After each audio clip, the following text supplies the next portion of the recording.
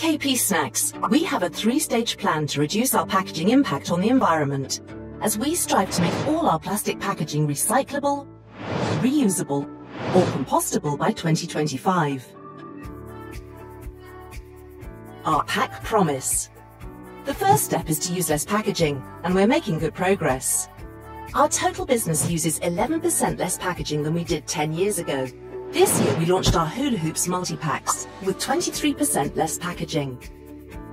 That's a saving of 11.2 tonnes of film per year, around 80 tonnes of corrugated cardboard, and 180 lorries removed from the road. On Pom Bear we've reduced the multi-pack packaging by 35% and on McCoy's multi-packs by 16%. Our most recent packaging reduction is on our Tyrrell's crisps, which have seen a 14% reduction. We've also made great progress in reducing the packaging on Butterkist popcorn, Penn State pretzels, discos, crisps and wheat crunchies. All our nuts, popcorn, crisps and pretzel packets can be recycled through our partnership with TerraCycle.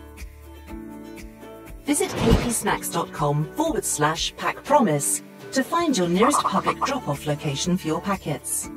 The KP Snacks Pack Promise. All part of our taste for good.